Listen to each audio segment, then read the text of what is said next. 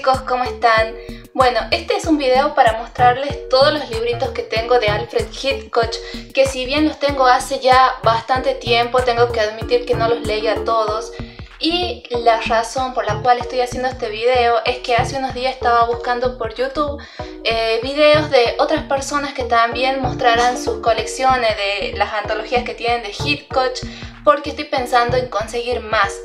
Sin embargo, me sorprendió ver que no hay tantos videos. Es más, nada más encontré solamente uno.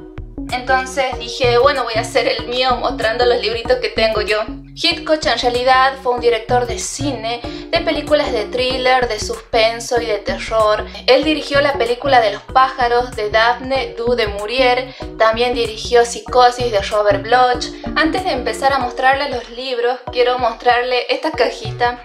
Es un box set casero que hice hace unos días y es para proteger los libritos porque estas son ediciones muy antiguas, incluso varias son primeras ediciones y son de los años 60. El primer libro que les voy a mostrar es este, El Panteón de Alfred Hitchcock. Les voy a dejar acá una imagen mostrando los relatos que contiene este libro. Si bien este no lo leí todavía, le tengo muchísimas ganas. Después también tengo de esta misma colección eh, Jack el Destripador y otros cuentos de Alfred Hitchcock. Y también les voy a dejar obviamente acá la foto con el índice ahí si pueden ver bien.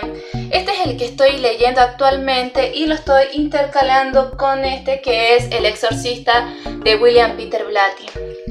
Ahí se puede notar la diferencia en el tono de las hojas, porque como les dije recién, estas son ediciones de 1960, más específicamente 1965, y este es un libro que salió el año pasado.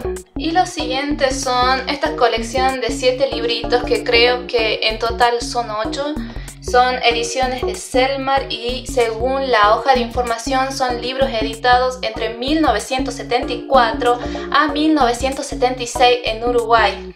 Tengo Un motivo de riesgo, Humo y muerte, Ser o no ser. De estos leí nada más la mitad, pero también hace ya bastante tiempo. Una mancha de sangre, una flor en la tumba, corazones sangrantes y una cuestión de ética. De estos me acuerdo que me había gustado mucho un motivo de riesgo, así que si ven este lo tienen que comprar porque estuvo buenísimo. Después tengo uno que es muy curioso que se llama Cuentos que mi madre nunca me contó. Y cuando leí la parte de atrás me llamó muchísimo la atención. Este es un libro más grande. Ahí está comparado con los que le mostré recién. Y les voy a leer la parte de atrás. Dice... Estoy dispuesto a declarar ante cualquier tribunal del mundo que ninguno de estos cuentos me fue relatado en forma alguna por mi madre. La razón es muy sencilla. Ninguno de ellos había sido escrito en la época en que mi madre me contaba cuentos.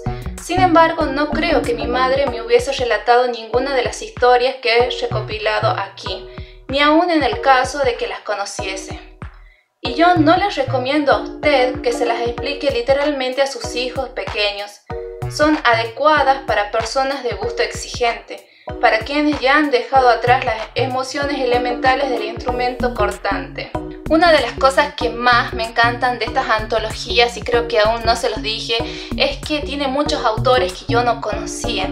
Me encanta esto de que se incluyan otro tipo de autores y no siempre a Ray Bradbury, a Richard Matheson, a Stephen King, a Robert Bloch. O sea, siempre son los mismos, pero me encanta acá ver nombres nuevos. Lo único que podría criticarle, aunque tampoco tanto no, porque bueno, por la época ahora también sigue pasando lo mismo, es que no hay muchos nombres de mujeres. Es más, casi todas las antologías son escritores hombres. Y sigo con 12 y el verdugo. Y una de las cosas más interesantes que tienen estas antologías de Hitchcock son las introducciones hechas por él.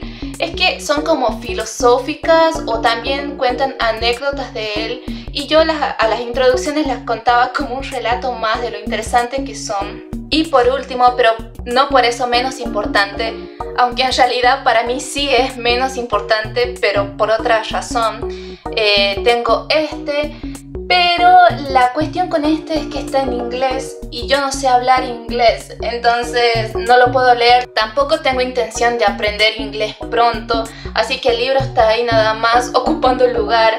Otra cosa también es que ya se le salió la... Un dato curioso y que me parece muy bonito de este libro es que en la tapa, en la parte de atrás, viene la foto de Alfred Hitchcock.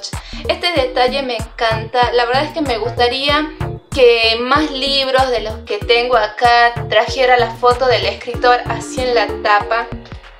Lamentablemente este libro no lo voy a leer pronto, eh, lo tengo porque algunos de estos libros los compré en lotes, entonces este venía en uno de estos lotes.